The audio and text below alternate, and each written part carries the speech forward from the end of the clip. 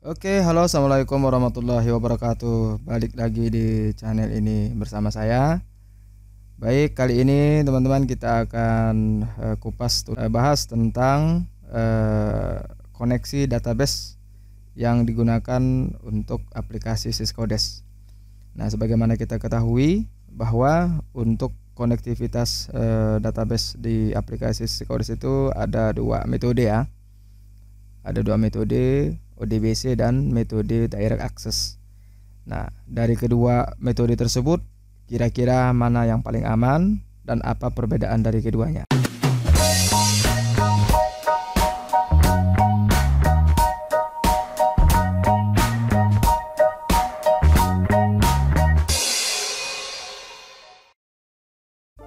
Simak terus video ini dan uh, terima kasih bagi yang sudah subscribe bagi yang belum silahkan tekan tombol subscribe.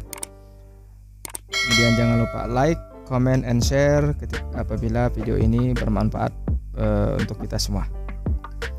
Baik kawan-kawan langsung saja kita uh, bahas tentang konektivitas uh, dari aplikasi Skodes tersebut. Nah meskipun ini sebenarnya sudah uh, lama ya sudah uh, sebagian besar uh, pengguna aplikasi Skodes itu tentunya sudah mengetahui kelebihan dan kekurangan, kemudian perbedaan-perbedaan dari keduanya. Namun uh, untuk mengingatkan kita semua, barangkali mungkin ada kawan-kawan kita yang baru bergabung ataupun baru uh, mulai menggunakan aplikasi Siskodes sehingga mungkin masih kebingungan ataupun mungkin uh, belum mengetahui apa dampak-dampak dari penggunaan kedua metode konektivitas database tersebut. Nah, sehingga tidak menjadi salah langkah nanti ketika melakukan uh, pengelolaan keuangan. Oke. Koneksi harus dilakukan saat pertama sekali kita menggunakan aplikasi ya. Ketika kita pertama sekali menggunakan aplikasi Cisco Desk, nanti kita akan di, uh, dihadapkan dengan sebuah tampilan interface seperti ini yaitu kita disuruh untuk memilih metode konektivitas kemudian memilih database yang akan diaktifkan. Dengan catatan ini adalah untuk Syscodes versi offline ya. Kemudian eh, konektivitas yang sudah kita pilih ter tersebut misal kita memilih ODBC ataupun memilih direct itu nanti tersimpan di file config yang terdapat dalam direktori aplikasi Syscodes yang berjudul config.ini. Jadi seperti itu. Kemudian koneksi database secara default akan menggunakan tab koneksi Microsoft Access database seperti yang tampak pada gambar ini.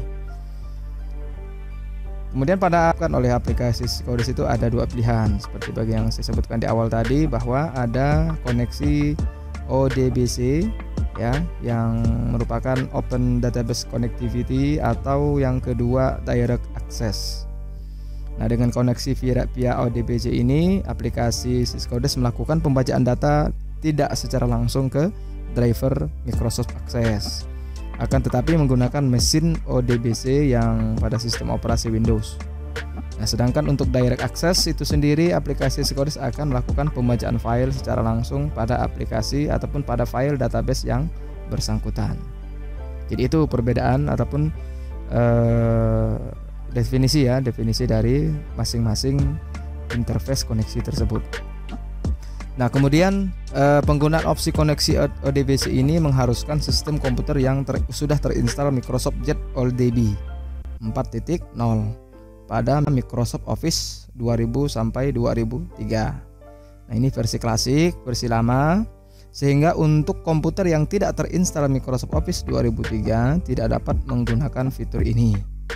Nah, namun jangan khawatir apabila kita ingin tetap menggunakan fitur ini, kita bisa menambahkan instalasi Access Database Engine ataupun kita uh, mereplace Microsoft yang sudah terinstall di komputer kita dengan Microsoft Office Access 2003.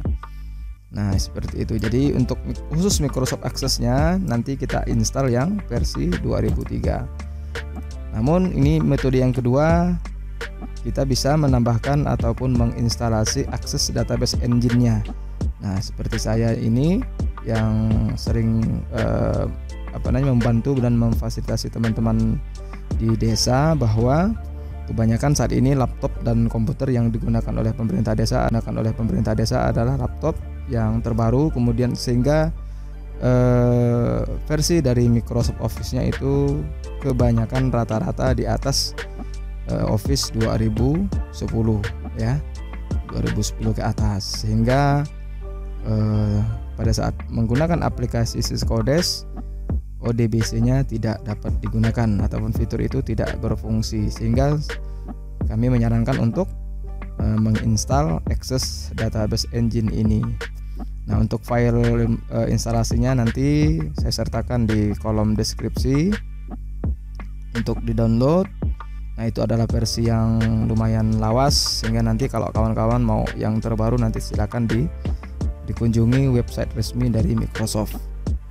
Nah, kemudian untuk memastikan nih kita tidak tahu apakah komputer laptop kita uh, sudah support ODBC atau belum. Nah, kita tinggal cek saja di bagian uh, control panel window, kemudian pilih tabulasi system and security, kemudian cari administrative tools dan pilih database source ataupun dengan apa namanya dengan uh, shortcut jalan pintas kita bisa mengetikkan langsung di pencarian di bagian taskbar laptop kita tinggal ketik saja ODBC nanti akan muncul seperti ini. Langsung kita buka. Nah kita pilih di bagian tabulasi connection pooling ya. Connection pooling. Kemudian kita scroll kita cari uh, Microsoft Access Driver. Nah, kalau sudah tampil seperti ini, ada MDB dan Access DB, ini menandakan bahwa laptop kita, komputer kita ini sudah support untuk uh, koneksi ODBC. Nah, jika ini tidak ada, maka mau tidak mau op dua opsi tadi yang saya tawarkan, satu kita harus menginstalasi 2003 atau kita instalasi uh, akses database engine-nya itu secara tersendiri. Oke. Selanjutnya kawan-kawan spesifikasi sistem operasi yang mungkin bisa digunakan untuk uh, apa namanya untuk menggunakan aplikasi Cisco Desk. Nah, Cisco Desk hanya bisa berjalan di operating system Windows yang mana dapat berjalan dengan baik pada Windows XP, Windows 7, Windows 8 dan Windows 10 ke atas. Nah, itu. Cuman tadi uh, permasalahannya ketika kita menggunakan Windows yang terbaru kadang-kadang Office yang digunakan juga versi yang terbaru sehingga kita mau tidak mau harus e, menginstalasi e, Access Database Engine-nya. Nah, kemudian kebutuhan perangkat keras komputer yang bisa digunakan untuk akses ataupun untuk implementasi Cisco kita harus memiliki komputer ataupun laptop minimal memiliki ataupun e, prosesor ya bukan sistem operasi prosesor Intel Celeron dengan kapasitas 1,5 GHz kemudian RAM minimal 1 GB dan ruang penyimpanan harddisk yang kosong itu masih mencukupi minimal 10 GB seperti itu selanjutnya dengan kata lain dari pembahasan di atas bahwa penggunaan aplikasi Syskodes dengan metode ODBC ini lebih disarankan bila dibandingkan dengan metode direct access kenapa? karena untuk menjaga keamanan data Nah, penggunaan opsi direct access ini membuat aplikasi langsung melakukan pembacaan file pada database keuangan desa. Penggunaan opsi ini tidak disarankan karena pada kondisi tertentu nanti dapat menyebabkan permasalahan seperti komputer kita menjadi lambat, low memory atau komputer yang terinfeksi virus dapat membuat database kita rusak ataupun korup. Nah, penggunaan opsi ini database kita rusak ataupun korup. Nah, penggunaan opsi ini hanya untuk single user atau dengan kata lain hanya untuk komputer PC atau laptop secara standalone atau yang tidak menggunakan jaringan internet. Oke. Nah, e, untuk komputer yang sudah terpasang Microsoft Office 2007 ke atas agar menambahkan Microsoft Office Access 2003 atau dapat menginstal Access Database Engine-nya sehingga dapat menggunakan fitur ODBC. Nah, jadi seperti itu kawan-kawan eh, kelebihan-kelebihan dan kekurangan, kemudian ada eh, perbedaan-perbedaannya, yang mana yang paling aman. Jadi menurut pembahasan ini, untuk konektivitas yang paling disarankan adalah menggunakan konektivitas uh, eh, ODBC seperti itu. Nah, lantas apa perbedaannya ketika kita uh, menggunakan ODBC?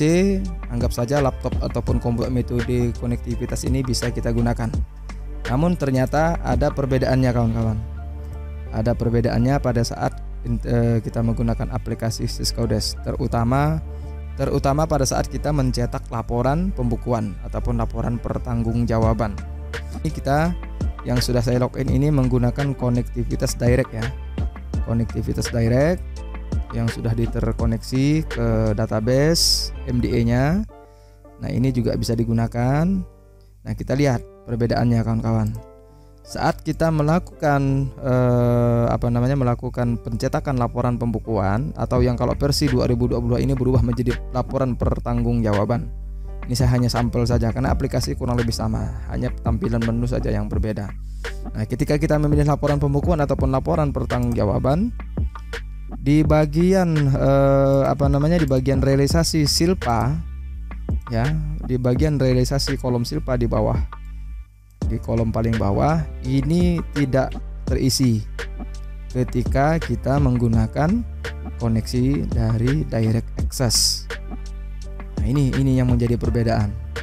Untuk eh, realisasi sasi silpa ataupun realisasi di bagian pembiayaan ini di kolom realisasi ini tidak terisi atau tidak terbaca. Padahal untuk menampilkan realisasi di bagian pembiayaan ini kita sudah melakukan input jurnal penyesuaian.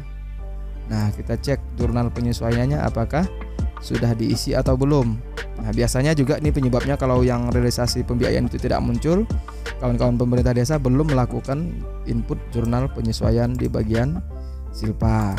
Kita cek ya sama-sama apakah di e, desa ini sudah melakukan input jurnal penyesuaian. Nah, oke. Okay. Ternyata memang sudah melakukan input jurnal penyesuaian silpa seperti ini dan sudah terposting. Ditandai dengan adanya centang di kolom ini. Nah, e, karena kita tadi menggunakan konektivitas e, direct sehingga jurnal penyesuaian ini tidak terbaca.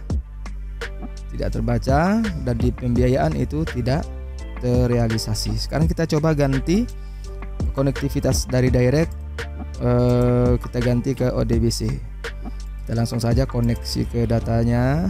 Ini databasenya biarkan. Ini kita geser ke ODBC kita tes. Oke tes berhasil simpan. Lalu kita lakukan login ulang kawan-kawan. Kita login ulang.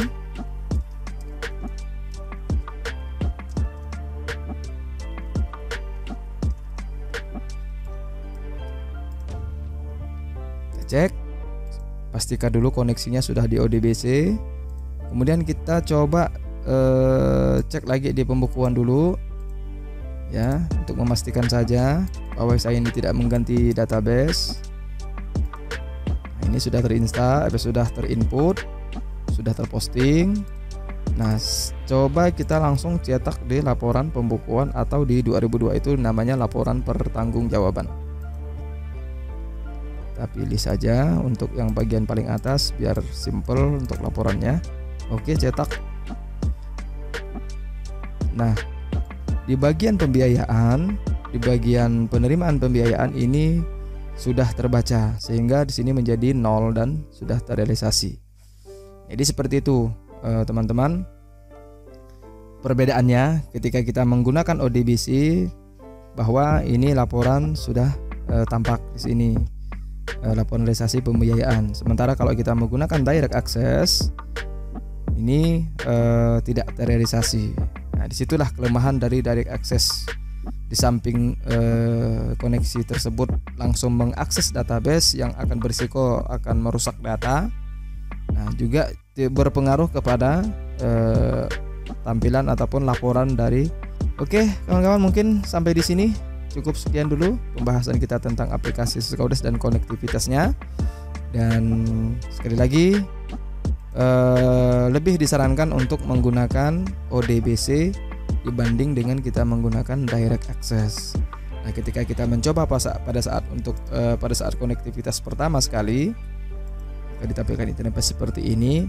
Ketika kita mencoba memilih ODBC lalu langsung kita klik tes ternyata gagal tampilan gagalnya biasanya seperti ini ya seperti ini artinya laptop dan komputer kita itu tidak support ODBC direct access-nya ODBC access engine-nya ya jadi solusinya tinggal kita install Microsoft Office eh, Microsoft Access yang versi 2003 atau kita install Access Database Engine. Silakan nanti di-download saja di kolom kolom deskripsi. Baik, terima kasih eh, sudah menonton. Dan sekali lagi bagi yang belum subscribe untuk eh, subscribe channel ini. Sampai ketemu di video berikutnya. Assalamualaikum warahmatullahi wabarakatuh.